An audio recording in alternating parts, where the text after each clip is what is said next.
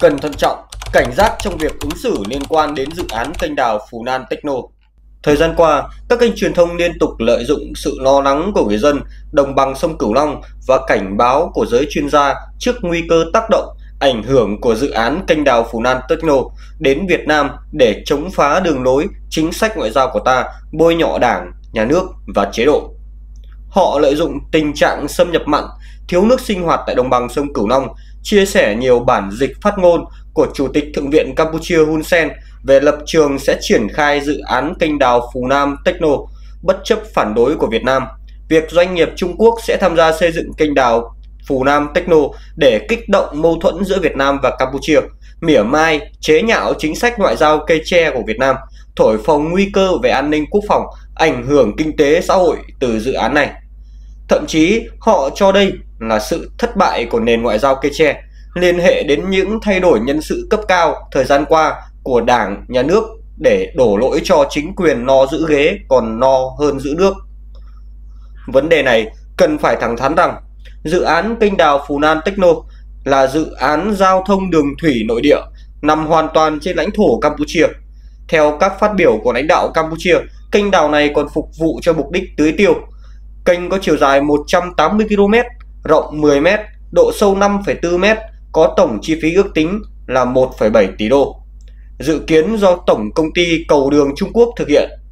Kênh đào này sẽ được khởi công vào tháng 8 năm 2024 và dự kiến hoàn thành vào năm 2027 sau khi một số báo chí, học giả quốc tế và Việt Nam có những bài viết thể hiện quan ngại về tác động tiêu cực đến môi trường, nguồn nước của sông Mekong.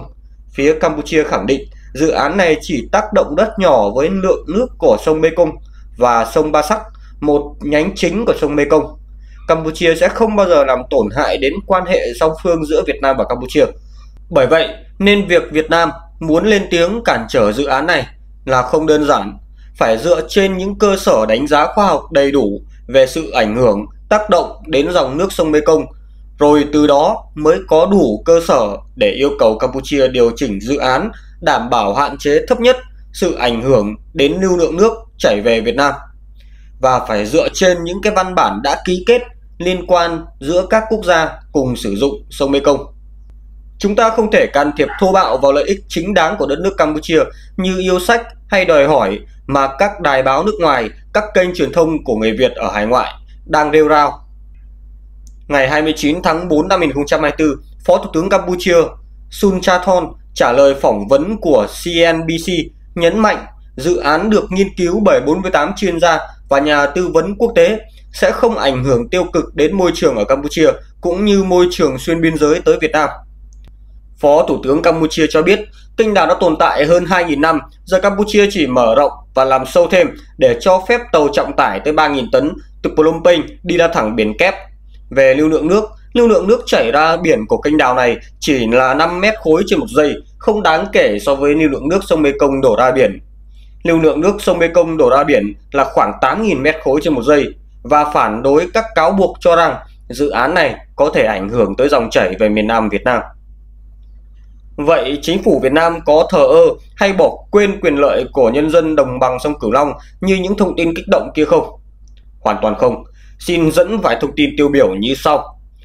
Ngay khi ta có thông tin về dự án kênh đào Phú Nam Techno, Bộ Tài nguyên và Môi trường tìm hiểu thông tin về dự án trên tuyến giao thông thủy từ sông Ba Sắc nối ra biển Tây tỉnh Kiev.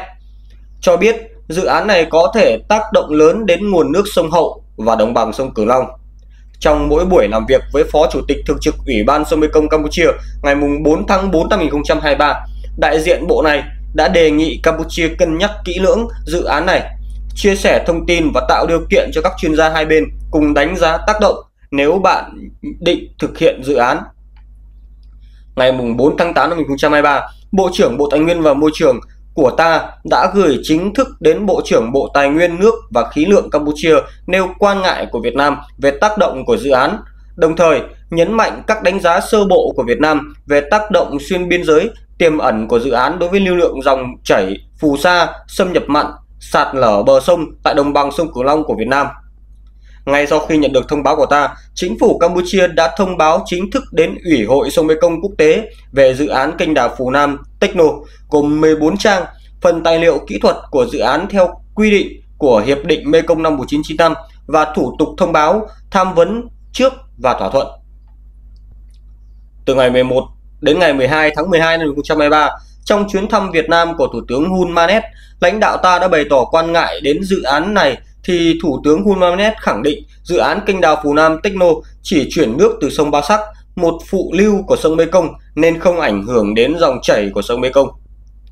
Ngày 6 tháng 5 năm 2024, khi Thủ tướng Phạm Minh Chính tiếp đón Phó Thủ tướng Campuchia, nhân dịp Phó Thủ tướng dẫn đầu đoàn đại biểu cấp cao Campuchia sang Việt Nam dự lễ kỷ niệm 70 năm chiến thắng Điện Biên Phủ. Trong trao đổi, Thủ tướng Chính phủ tiếp tục khẳng định Việt Nam tôn trọng quan hệ tốt đẹp giữa hai nước và lợi ích của Campuchia, đề nghị hai bên trao đổi trực tiếp, thẳng thắn về những vấn đề hai bên cùng quan tâm liên quan đến kênh đào Phú Nam Techno để tránh xảy ra những hiểu lầm có thể bị các thế lực thù địch lợi dụng ngày 23 tháng 5 năm 2024 tại hội nghị tương lai châu Á và trong cuộc gặp với Phó Thủ tướng Lê Minh Khái tiếp tục đề cập đến kênh đào này.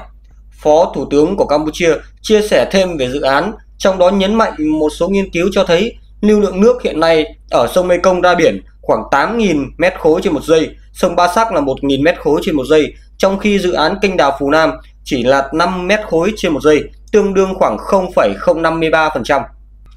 Ngày 5 tháng 5 năm 2024 và ngày 9 tháng 5 năm 2024, người phát ngôn của Bộ Ngoại giao phát biểu nhấn mạnh luôn quan trọng và dành ưu tiên hàng đầu cho mối quan hệ Việt Nam Campuchia, muốn quan hệ hai nước này phát triển đi sâu vào chiều sâu nhất, thiết thực hiệu quả, khẳng định truyền thống lịch sử, quan hệ đoàn kết gắn bó Việt Nam Campuchia là nhân tố hết sức quan trọng Việt Nam rất quan tâm và tôn trọng lợi ích chính đáng của Campuchia theo tinh thần Hiệp định Mekong năm 1995, phù hợp với các quy định liên quan của Ủy hội sông Mekong và quan hệ láng giềng, hữu nghị, truyền thống giữa hai nước. Mong Campuchia tiếp tục phối hợp chặt chẽ với Việt Nam và các nước trong Ủy hội sông Mekong quốc tế chia sẻ thông tin, đánh giá đầy đủ tác động của dự án này đối với nguồn nước, tài nguyên nước và môi trường sinh thái khu vực tiểu vùng sông Mekong cùng các biện pháp quản lý phù hợp nhằm đảm bảo hài hòa lợi ích của các quốc gia ven sông, quản lý sử dụng hiệu quả và bền vững nguồn nước và tài nguyên nước sông Mekong vì sự phát triển bền vững của lưu vực, tình đoàn kết gắn bó giữa các quốc gia ven sông và tương lai của các thế hệ mai sau. Như vậy, liên tục các cuộc gặp, trao đổi chính thức, không chính thức hoặc qua kênh Ủy hội sông Mekong quốc tế từ bộ ngành chuyên môn đến các cấp lãnh đạo ta đều thẳng thắn trao đổi với phía Campuchia về quan ngại liên quan đến dự án kênh đào này và đề nghị nghiên cứu, đánh giá kỹ hơn tác động của dự án, điều chỉnh thiết kế sao cho giảm thiểu ảnh hưởng đến dòng nước đổ về Việt Nam. Ứng xử liên quan đến dự án này thuộc hoàn toàn chủ quyền lãnh thổ của nước bạn, không thể nóng vội, cũng không thể hành xử quy kết thô bạo mà cần phải đàm phán dựa trên nghiên cứu đánh giá khoa học của các cơ quan chuyên môn. Vậy nên, mỗi chúng ta cần bình tĩnh, không hành động mất kiểm soát, ảnh hưởng đến quan hệ láng giềng mà các thế hệ lãnh đạo và nhân dân hai nước này dày công xây dựng bằng xương máu.